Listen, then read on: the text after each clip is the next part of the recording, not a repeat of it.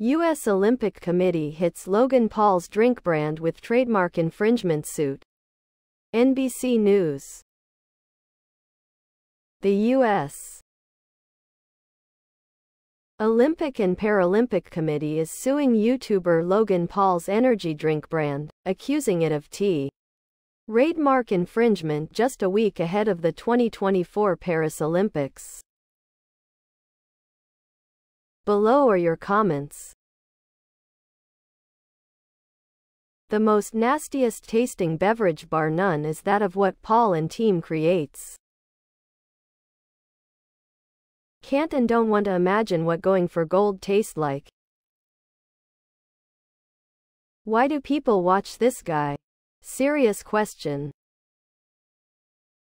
I would rather filter puddle water to drink than have a free prime. I walked in store, really trying to remember, maybe Target or Walmart, behind a dad with his kid. As we walked in the kid was like, Dad dad they have Prime. I happened to keep shopping near them and the kid did not drop it, Dad Prime please. Dad didn't. This kid wants it cause he doesn't know why it is, cool. Basically as a kid when the Shox came out, the shoes that would make you jump higher, I spent all the money I had in 6th grade to get it.